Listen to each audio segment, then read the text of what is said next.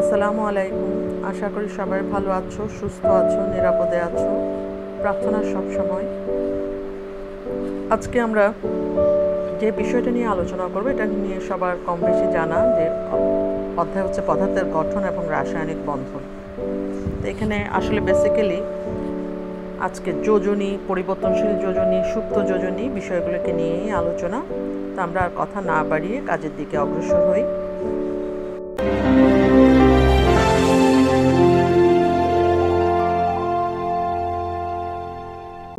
আমরা দেখতে পাচ্ছি প্রশ্নটা। প্রশ্নটার মধ্যে কি আছে? যে অ্যাসাইনমেন্ট নং চার। আর অধ্যায় কি? তৃতীয় অধ্যায়, পঞ্চম অধ্যায়। পদার্থের গঠন, রাসায়নিক বন্ধন গেল। আমরা জাস্ট প্রশ্নটা দেখি। প্রশ্নটাতে বলেছে হাইড্রোজেনের পরমাণু যোজনী এক হিসাবে ধরে যৌগসমূহকে পর্যালোচনা করা।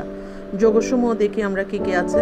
পানি, carbon dioxide, carbon tetrachloride, phosphorus pentachloride, trichloride, phosphorus pentaiodide sulphur dioxide, sulphur trioxide. সবাই নিশ্চয়ই জানো যে একটা থাকলে কি হয়, মনো হয়, দুটো থাকলে ডাই হয়। মানে কোনো একটা যোগের মধ্যে যদি টু থ্রি ফোর এভাবে থাকে, তিনটা থাকলে ট্রাই, চারটা থাকলে টেট্রা, পাঁচটা থাকলে প্যান্টা, ছয়টা থাকলে হ্যাটসা এই ধরনের হয়। ঠিক সেভাবেই আমি বলে গিয়েছি। আচ্ছা এখন এখানে বেসিক্যালি কি করতে হবে আমাদের?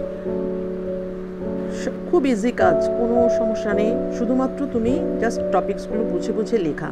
প্রথম হচ্ছে যোজনী বের করা। তোমাদের বইয়ে যোজনীর সংজ্ঞা দেওয়া আছে, আমিও কিছু এক্সপ্লেনেশন দিয়েছি। যোজনী খুঁজে বের করা প্রথম কতে।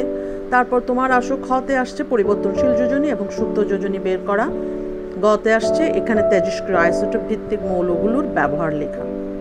সবগুলো বইয়ে আছে। আর তুমি যদি এক্সট্রা ব্যবহারের ক্ষেত্রে যদি এক্সট্রা কিছু বের করতে পারো, তাহলে তুমি অবশ্যই লিখবে। এই হচ্ছে যে আমাদের আজকের অ্যাসাইনমেন্ট তাহলে আমরা মূল কাজে যাই। প্রথমে চলে আসি শিরোনামের দিকে। বিভিন্ন যৌগ পর্যালোচনা করে পরমাণুসমূহের যোজনী, পরিবর্তনশীল যোজনী ও সুপ্ত যোজনী এবং যৌগগুলোর মধ্যে বিদ্যমান মৌলের তেজস্ক্রিয় আইসোটোপের ব্যবহার। এটাই হচ্ছে শিরোনাম। তুমি শুরুতেও এটা লিখবা লাস্টে যেও তোমার এটাই লিখবা। ঠিক আছে? এরপর চলে আসছে আমরা কিসে? যে প্রতিবেদন, যেটা প্রতিবেদন আকারে লিখতে বলা হয়েছে, যেহেতু আগের নিয়মে প্রতিবেদনের ভিডিওটা দেওয়া হয়েছে, আগের ভিডিওগুলোও তো আছে। প্রতিবেদন, আগের ভিডিওগুলোতে যেটা দেওয়া আছে সেটা দেখে নেবে। গেল? এবার আসি আমরা উত্তর আলোচনায়। ক নাম্বার, যৌগে বিদ্যমান পরমাণুসমূহের যোজনী নির্ণয়। এর জন্য প্রথমে যোজনীর সংজ্ঞা দিতে হবে। অনুগঠনকালে কোনো মৌলের একটা পরমাণুর সাথে অপর একটা মৌলের মানে একটা মৌলের পরমাণু যুক্ত হওয়ার সামর্থ্যকে যোজনী বলে। খুব ইজি একটা সংজ্ঞা। আবার এটাও বলা যায়, কোনো মৌলের একটা পরমাণু যতগুলো হাইড্রোজেন অথবা ক্লোরিন, সোডিয়াম ইত্যাদি অন্য মৌলের যত সংখ্যক পরমাণুর সাথে যুক্ত হতে পারে তাকে যোজনী বলে। তার মানে আমি সেকেন্ড একটা ওপিনিয়ন দিলাম। উদ্দীপকের যোগে মৌলের যোজনী নির্ণয় করা হলো। এই এই, এটার ভিত্তিতে আমি দিচ্ছি। হ্যাঁ ঠিক আছে? তাহলে দেখা যাচ্ছে হাইড্রোজেনের যোজনী আমি লিখেছি ওয়ান অক্সিজেনের টু কেন? কারণ হাইড্রোজেনের যোজনী কিন্তু এক ধরেই পর্যালোচনা করতে বলেছে। আর পানিতে অক্সিজেনের যোজনী কী হবে? দুই হবে। কারণ অক্সিজেন দুটো হাইড্রোজেনের সাথে যুক্ত। এই সংজ্ঞা অনুসারে। আরেকটা সংজ্ঞা আমি দিয়েছি, এটা তোমরা চাইলে এটা বেস করেও তুমি ব্যাখ্যা দিতে পারো। ইয়োর চয়েস না দিলেও কোনো সমস্যা নেই। সেটা হচ্ছে ইলেকট্রনীয় ধারণা। যেমন যোগ গঠনকালে কোনো একটা পরমাণু বা মূলক অপর একটা পরমাণু বা মূলক হতে যে কয়টি ইলেকট্রন গ্রহণ করে বা প্রদান করে, তার তার তাই হচ্ছে তার যোজনী বা যোজ্যতা। শুধু যে গ্রহণ বা বর্জন হবে তা নয় শেয়ারও হতে পারে। তাহলে এখানে কিন্তু পানির ক্ষেত্রে যদি আমি এটার ব্যাখ্যা দিতে যাই, এটা কিন্তু শেয়ারিংয়েই হয়। অর্থাৎ এটা সমযোজী বন্ধন গঠন করে। পোলার যোগের হিসাব পরে আসছে, আমরা বন্ধনের হিসাবটা দিচ্ছি, যেটা শেয়ারিংয়ের মাধ্যমে যৌগ গঠন করে। তুমি এই ধরনের ইলেকট্রনীয় ধারণা দিয়েও ব্যাখ্যা দিতে পারো, আর উপরে আমি যেভাবে ব্যাখ্যা দিয়েছি, সেভাবেও ব্যাখ্যা দিতে পারো। কোনো সমস্যা নাই। কি দেখছি আমরা? কার্বন ডাইঅক্সাইডের ক্ষেত্রে। অক্সিজেন হচ্ছে যোজনী দুই, কার্বন হচ্ছে চার। এখানে অক্সিজেনের যোজনী দুই কার্বনের যোজনী চার, কারণ কার্বন দুটি অক্সিজেনের সাথে যুক্ত, ব্র্যাকেটে দেখিয়ে দেওয়া হয়েছে। Carbon tetrachloride. ক্লোরিনের যোজনী এক, কার্বনের যোজনী হচ্ছে চার, কারণ কার্বন চারটা ক্লোরিন পরমাণুর সাথে যুক্ত। Phosphorus pentachloride. এখানে ক্লোরিনের যোজনী এক, ফসফরাসের যোজনী পাঁচ, কারণ ফসফরাস পাঁচটি ক্লোরিন পরমাণুর সাথে যুক্ত। Phosphorus trichloride. এখানেও ক্লোরিনের যোজনী এক, ফসফরাসের যোজনী হচ্ছে তিন, কারণ ফসফরাস তিনটা ক্লোরিন পরমাণুর সাথে যুক্ত। ফসফরাস প্যান্টা আয়োডাইড আয়োডিনের যোজনী হচ্ছে এক। তোমরা সবাই জানো fluorine, chlorine, bromine, iodine, halogen গ্রুপভুক্ত। সুতরাং এদের যোজনী হচ্ছে কত? এটা নিশ্চয় সবাই জানো। এক। এখানে আয়োডিনের যোজনী এক, ফসফরাসের যোজনী পাঁচ, কারণ ফসফরাস পাঁচটা আয়োডিন পরমাণুর সাথে যুক্ত। সাত নাম্বার, সালফার ডাই অক্সাইড এখানে অক্সিজেনের যোজনী কত? দুই। আর সালফারের যোজনী চার। কেন? কারণ এখানে দেখা যাচ্ছে যে সালফার অক্সিজেনের দুটো অক্সিজেনের সাথে যুক্ত হয়েছে, তো দুটো অক্সিজেনের সাথে যুক্ত হওয়া মানেই হচ্ছে দুই গুণন দুই সমান কত? চার। সালফার ট্রাইঅক্সাইড, এখানে অক্সিজেনের যোজনী দুই সালফারটা হচ্ছে ছয়, কারণ সালফার তিনটা অক্সিজেনের সাথে যুক্ত হয়েছে। তাহলে তিনটা অক্সিজেন পরমাণুর সাথে যুক্ত হওয়ার কারণে দুই গুণ তিন কত হবে? ছয়। তাহলে আমরা মোটামুটি কয়ের উত্তরটা দিয়ে দিয়েছি। এরপর চলে যাচ্ছি আমরা ক্ষয়ে। এখন চলে আসছি আমরা খ নাম্বার উত্তরে। যেহেতু এখানে চেয়েছে পরিবর্তনশীল যোজন এবং সুপ্ত যোজনী প্রথমে এটা একটু ক্লিয়ার করে দিতে হবে, কারণ ওখানে লেখাই আছে ব্যাখ্যা দিয়ে দিতে হবে। যেসব মৌল ভিন্ন ভিন্ন যোগে ভিন্ন ভিন্ন যোজনী ব্যবহার করে, সেসব মৌলের যোজনীকে পরিবর্তনশীল যোজনী বলে। ঠিক আছে? আবার তোমাদের বইয়ে যেটা আছে সেটাও লিখতে পারবে। এক কথা কোনো মৌলের একাধিক যোজনী থাকলে তাকে পরিবর্তনশীল যোজনী বলে। যেমন আয়রনের পরিবর্তনশীল যোজনী হচ্ছে দুই এবং তিন। সুপ্ত যোজনী কাকে বলে? কোনো মৌলের সর্বোচ্চ সক্রিয় যোজনের মধ্যে পার্থক্যকে ও মৌলের সুপ্ত যোজনী বলে। যেমন মনে করো যে সালফারের ক্ষেত্রে আমরা দেখতে, দেখি যে এর একাধিক যোজনী আছে, দুই, চার, ছয়। তো এখানে সর্বোচ্চ যোজনী হচ্ছে ছয়। তো সর্বোচ্চ যোজনী মানে যে যোজনী, তিনটা, যে যতগুলো যোজনী থাকবে তার মধ্যে যেটা বড়।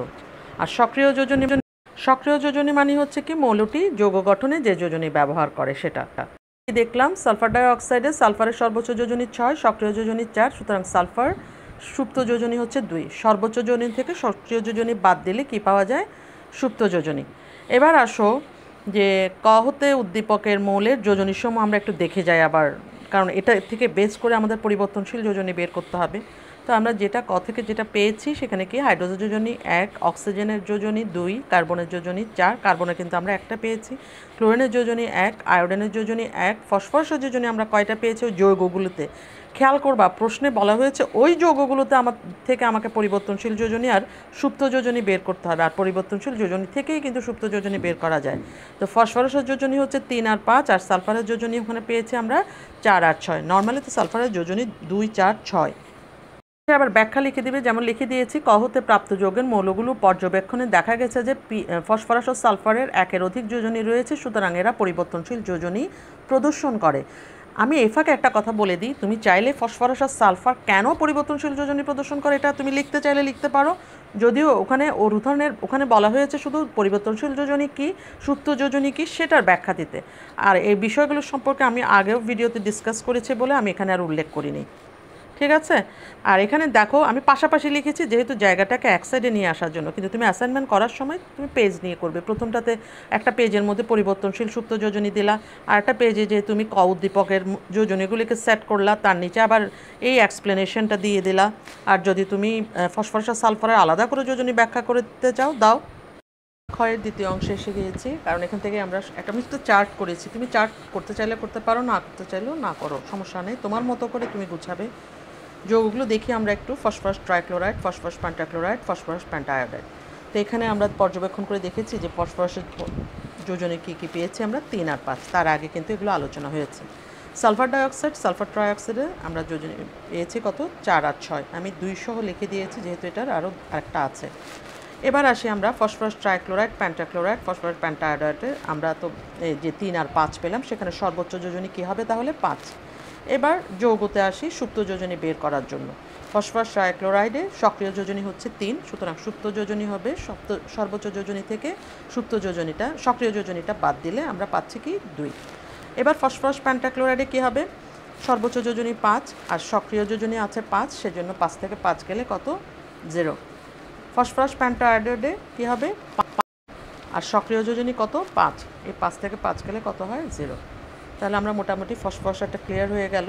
এর, এরপরে আসি সালফারের ক্ষেত্রে। সালফার ডাইঅক্সাইডের আমার সর্বোচ্চ যোজনী হচ্ছে ছয়, আর এখানে সক্রিয় হচ্ছে কত? চার সালফার ডায়ে তাহলে এখানে সুপ্ত যোজনী কত হবে? দুই।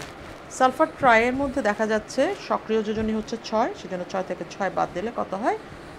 জিরো সুতরাং আমাদের পরিবর্তনশীল যোজনী, সর্বোচ্চ যোজনী, সক্রিয় যোজনী, সুপ্ত যোজনী সব কিছু ক্লিয়ার হয়ে গেছে। তুমি যেভাবে তোমার এটা চার্ট তুমি যেভাবে করো, সমস্যা নেই। এরপরে ব্যাখ্যাটা দিবে। সুতরাং উক্ত যৌগসমূহগুলোতে পানি কার্বন ডাইঅক্সাইড কার্বন টেট্রাক্লোরাইড যৌগগুলোতে বিদ্যমান মৌলসমূহের পরিবর্তনশীল যোজনী না থাকায় তাদের সুপ্ত যোজনী হবে জিরো আর ফসফরাস আর সালফারের পরিবর্তনশীল যোজনী থাকা এদের সুপ্ত যোজনী যথাক্রমে পি সমান আমরা কয়টা পেলাম? টু, জিরো জিরো এবং আরেকটা কী পেলাম? সালফারের টু আর জিরো। ঠিক আছে? এই হচ্ছে ব্যাখ্যা খ নাম্বার উত্তরের। আমরা গতে চলে এসেছি উদ্দীপকের যোগে বিদ্যমান মৌলগুলোর তেজস্ক্র আইসোটোপ চিহ্নিত করে তার ব্যাখ্যা। তার মানে আমাকে আগে তেজস্ক্রিয় আইসোটোপ কাকে বলে জানাতে হবে? যেসব আইসোটোপের নিউক্লিয়াস স্বতঃস্ফূর্তভাবে নিজে নিজে ভেঙে আলফা রশ্মি বিটা রশ্মি স্বতঃস্ফূর্ত মানে হচ্ছে নিজে নিজে ভেঙে যাওয়া। তো বিটা রশ্মি গামা রশ্মি ইত্যাদি নির্গত করে, তাকে তেজস্ক্রিয় আইসোটোপ বলে। তো আমি তিনটা নিয়েছি, উদ্দীপকে উল্লেখিত যোগের মধ্যে আমি কার্বন, ফসফরাস, আয়োডিনের আইসোটোপের তেজস্ক্রিয় ধর্ম যেহেতু প্রদর্শন করে, তাদের ব্যবহারটা উল্লেখ করেছি। তোমার যদি এখানে মনে হয় তুমি বের করে নিবে, তোমার যেটা তুমি যদি মনে হয় যে না আরও আছে, তাহলে তুমি বের করে লিখতে পারো। কিন্তু এখানে প্রশ্নে বলেছে যে যৌগুলোর মধ্য থেকে তোমাকে মূলের যেগুলো তেজস্ক্রিয়তা দেখায়, তাদের ব্যবহার লিখতে বলেছে। যে কেউ যে কোনোটা লিখলে হবে না। সুতরাং এটা মাথায় রাখবে। ঠিক আছে? তিনটা দিলেও কোনো সমস্যা নেই। এখন আসো, আমি একটু কয়েকটা পয়েন্ট আমি পরে দিয়ে লিখে দিয়েছি, যেমন কার্বন থার্টিন কার্বন যেটা আইসোটোপ যৌগ রসায়ন, গবেষণায় আণবিক কাঠামোর অধ্যয়ন, বিপাক, খাদ্য লেবেলিং বায়ু দূষণ এবং জলবায়ু পরিবর্তনে ব্যবহৃত হয়। এক্ষেত্রে তোমাকে তথ্য সংগ্রহ করতে হবে, যেহেতু তোমার বই অত ডিটেলসে নেই। তারপরে আসো ফরটিন কার্বন আইসোটোপ ব্যবহার করে পৃথিবীর বয়স নির্ধারণ করা হয়, উন্নত বীজ তৈরির গবেষণায় ব্যবহৃত হয়। আমি একটু এসেডও আবার লিখেছি, একসাথে লেখার চেষ্টা করবে। তারপর আসো one thirty one iodine isotope থাইরয়েডের চিকিৎসা ক্ষেত্রে যেমন থাইরয়েড গ্রন্থির কোষকলা বৃদ্ধি প্রতিহত করতে ব্যবহৃত হয়, আবার মস্তিষ্কের টিউমার অবস্থান নির্ণয় করা হয়, এটার মাধ্যমে গলগণ্ড রোগের চিকিৎসা করা হয়। আবার ওয়ান টোয়েন্টি ফাইভ নিচের দিকে দেখো আয়োডিন, আইসোটোপটি চিকিৎসা ক্ষেত্রে ক্যান্সার নিরাময়ে নিরাময়ে ব্যবহৃত হয়, তার মানে এখানে আয়োডিনটাকে একসাথে নিয়ে আসবা। এবার আসো যে ফসফরাস, থার্টি টু ফসফরাস এটা কি? আইসোটোপ রক্তের লিউকেমিয়া চিকিৎসায় ব্যবহৃত হয়, আবার ফলনের মানের উন্নতি পরিমাণ বাড়াতে ব্যবহৃত হয়। আবার দেখা যাচ্ছে কি গাইগার কাউন্টার ব্যবহার করে পুরো উদ্ভিদের চলাচল চিহ্নিত করে থার্টি টু পিটা ফসফরাস সুতরাং এখানে তুমি আরও কিছু অ্যাড করতে চাইলে অবশ্যই অ্যাড করতে পারবে, কোনো সমস্যা নাই। কিন্তু মাথায় রাখতে হবে সেটা যেন তেজস্ক্রিয় আইসোটপ হয় এবং সেটা যেন ওই যোগের মৌলের মানে মৌলগুলোর মধ্যে থাকে। দুটো জিনিস মাথায় রাখতে হবে তেজস্ক্রিয় আইসোটোপ যৌগুলোর মৌলের মধ্যে থাকতে হবে। তবেই তুমি সেগুলোর ব্যবহার লিখ মানে এখানে দিতে হবে, লিখতে পারবে। আশা করি সবার মোটামুটি, যেহেতু এই সপ্তাহের অ্যাসাইনমেন্ট রসায়ন অ্যাসাইনমেন্ট অনেক ইজি শুধুমাত্র একটু বুঝে বুঝে উত্তরগুলো লেখা, গুছিয়ে লেখা, আর কিছু নয়। সবাই ভালো থাকো, সুস্থ থাকো, নিরাপদে থাকো। ধন্যবাদ সবাইকে। আল্লাহ হাফেজ।